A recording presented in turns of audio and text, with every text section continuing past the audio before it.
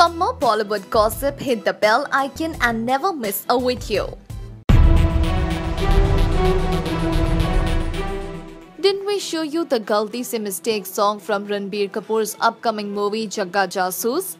Well, now we also see him imitating the versatile and Bollywood's own Bhaijan Salman Khan.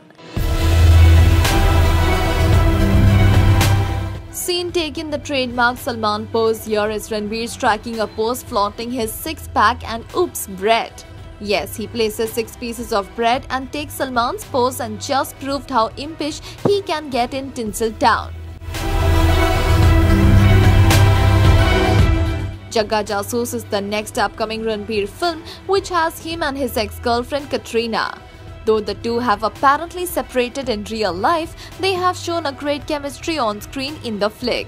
With the Badtameez Dil guy flaunting his popularity quotient by imitating the Dabangg Khan, we know for sure all Salman fans too are going to watch his movie. What say?